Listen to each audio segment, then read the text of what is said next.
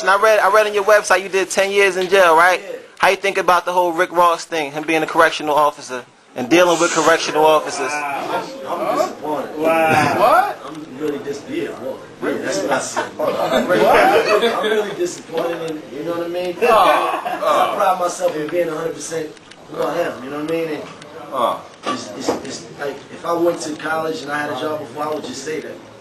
Oh. I was me, I would, you know what I mean?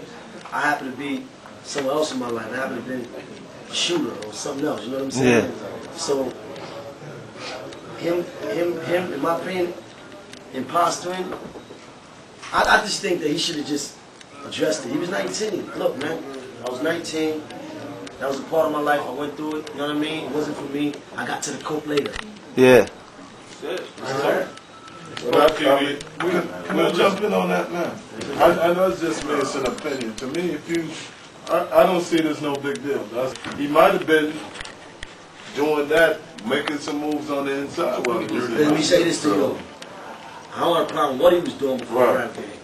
That ain't, that ain't my beef with him. The thing is, he's denying that he was doing it. Oh, he did. You lied about it. That's All right. the problem. Now, You see what I'm that's saying? whack. You said it was That's whack. Photoshop. Yeah, yeah. He said it was not right. He said it was Photoshop. It wasn't Yeah, real. That's whack. though. That's that's the- whack. what he's Stand misleading up. the people. Right, They pulled out the negative, the film negative. When the last time you saw a negative?